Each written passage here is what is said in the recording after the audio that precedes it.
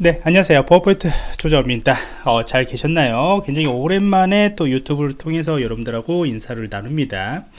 오늘 여러분들하고 이야기할 것은 이제 SK 쉴더스 주관으로 진행하고 있는 우리 K 디지털 트레이닝 디지털 선도기업 아카데미 클라우드 기반 스마트 융합 보안 과정 아, 과정이 깁니다. 그래서 이 과정들을 이제 좀 소개를 하려고 합니다. 이전에 제가 어, 5기, 6기, 7기 뭐 이렇게 계속적으로 이제 진행을 했었어요. 근데 이번 같은 경우는 조금 사업이 좀 변경이 됐지만은 저희가 이제 루키 8기로 해가지고 현재 모집을 하고 있습니다.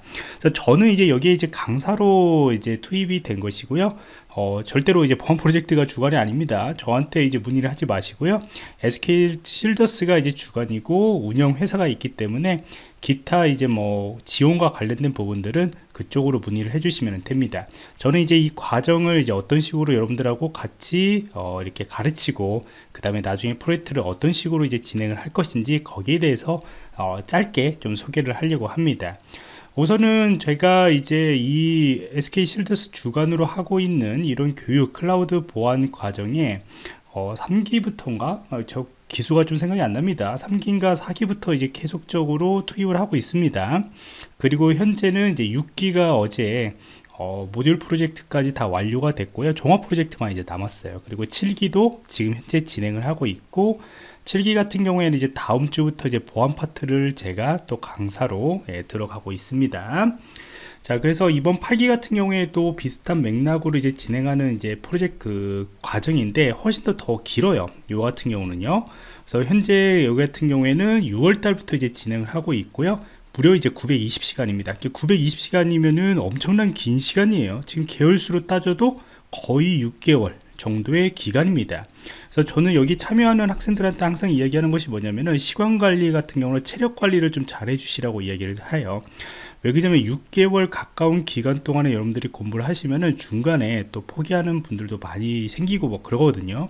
근데 그런 것들을 잘 버티시려면은 좀 재미있게 최대한 어 강의에 좀 참여를 해주시면 좋을 것 같고요.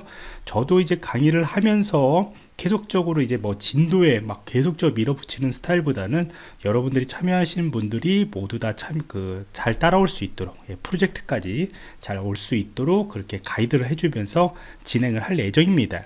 전문 기수 같은 경우에도 이제 온라인하고 오프라인하고 이제 이게 왔다리 갔다리 하면서 했어요. 원래는 이제 오프라인 강의가 맞는데 이제 코로나 때문에 그래서 온라인하고 이제 오프라인하고 서로 이제 만나면서 이렇게 진행을 하다 보니까 사실 이제 어려운 점이 좀 있었어요. 근데 이 과정 같은 경우에는 처음부터 이제 온라인 교육으로 이제 맞춰졌습니다. 물론 참여자가 이제 50명 정도 되고 있고요. 현재 온라인 교육 같은 경우를 중심적으로 여러분들한테 강의를 진행을 하도록 할 겁니다. 물론 이제 저는 이제 저기 밖에 교육시장에서 예, 교육장에서 오프라인으로 가서 이제 교육을 하게 되는 것이고 어, 보조 강사들이 또 있어요. 그러니까 여러분들이 원활하게 잘 참여할 수 있도록 그렇게 진행을 하도록 할 것이고요. 물론 이제 여기에 참여하기 위해서는 어 이제 이력서도 제출을 하고 그 다음에 어느 정도 여러분들의 기초 학습 같은 경우도 평가를 하고 난 뒤에 이제 결정을 하게 되겠지만은 사실 입문에 오시는 분들 같은 경우 처음에 이제 보안에 처음 접하시는 어 학생들도 많이 오거든요. 그래서 거기에 맞춰서 이제 교육을 어 진행을 하도록 할 것이고요. 모든 것은 다 실무에 맞춰서 진행을 합니다. 그러니까 굉장히 어렵게 제가 뭐 이렇게 어, 밀고 들어가면 어렵겠지만은 최대한 여러분들이 알기 쉽게 설명을 드리도록 할 것이고요. 그 다음에 이제 프로젝트 같은 경우에는 어, 오프라인으로 이제 진행을 하게 됩니다. 어, 프로젝트에는 제가 뭐 참여할지 안 할지는 어, 잘 모르겠지만은 어, 중간중간에 하는 이 팀 프로젝트가 있어요. 음, 거기에는 제가 여러분들한테 가이드를 해주고 같이 진행을 할 예정입니다 자 그래서 이렇게 여기 보시면서 여러분들이 해당이 되면은 어, 지원을 해주시면 되는 것이고요.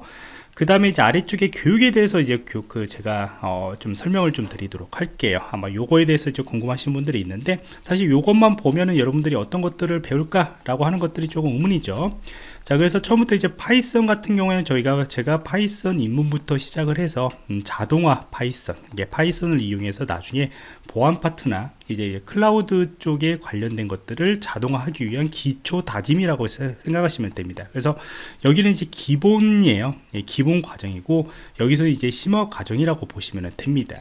그래서 Python 같은 경우에는 저희가 입문부터 그 다음 Python 데이터 분석하는 부분들까지 그 다음에 Python 자동화에 대해서 여러분들의 능력에 따라서 제가 진도를 쭉쭉 예, 진행을 하도록 할 것이고요.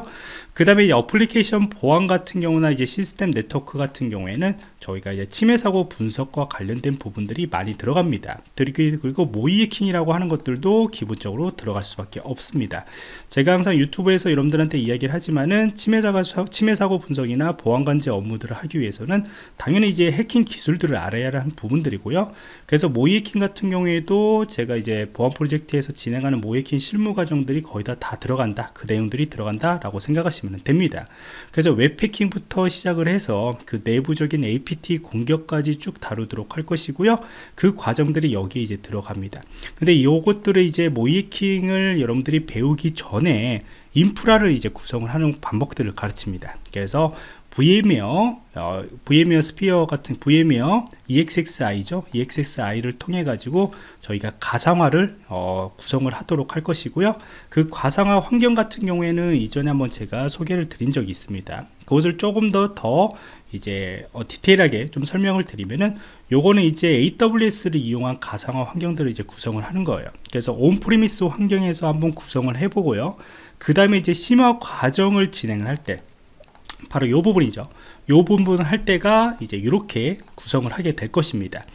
그래서 여러가지 Docker 컨테이너 환경과 그 다음에 load balancing 같은 경우들 그 다음에 웹방화벽이나 그 다음에 여러분들이 통합 로그 분석과 관련된 부분들을 하나씩 하나씩 구성을 나중에 최종 프로젝트 하기 전에 거기에 대해서 기본적으로 다루는 부분들이기 때문에 on-premise 환경으로 여러분들이 어, 실제 실무하고 맞춤에 통해 가지고 예, 구성을 하고 난 뒤에 거기에서 이제 모의해킹과 침해 사고 분석과 관련된 부분들을 디테일하게 좀 나가도록 진행을 할 거예요. 그래서 침해 사고 분석하는 과정에서는 악성 코드나 아니면 이제 포렌식 같은 경우는 그런 기술들이 다소 이제 들어간다. 그 다음에 IDS와 관련된 침입 탐지 시스템에 대한 룰 개발들, 그 다음에 탐지들을 어떻게 할 것인가 그런 것들이 이쪽 안에서 들어간다고 생각하시면 됩니다. 그런데 이제 사실 기본 강의라고 이야기 를 하고 있지만은 이런 것들 같은 경우에는 거의 다 실무에서도 여러분들이 실무 뭐한 3년차 정도 수준까지 올릴 수 있도록 제가 여기서부터 계속적으로 푸시도 많이 할 것이고요. 그 다음에 여러분들이 뭐 50명이지만은 거기에 맞춰서 한 명 한명 어느 정도 계속적으로 따라갈 수 있도록 어, 가이드를 해줄 겁니다. 그 다음에 이제 클라우드 보안과 관련된 기초 강의들은 저희가 AWS 기반에서 저희가 진행을 하도록 할 것이고요.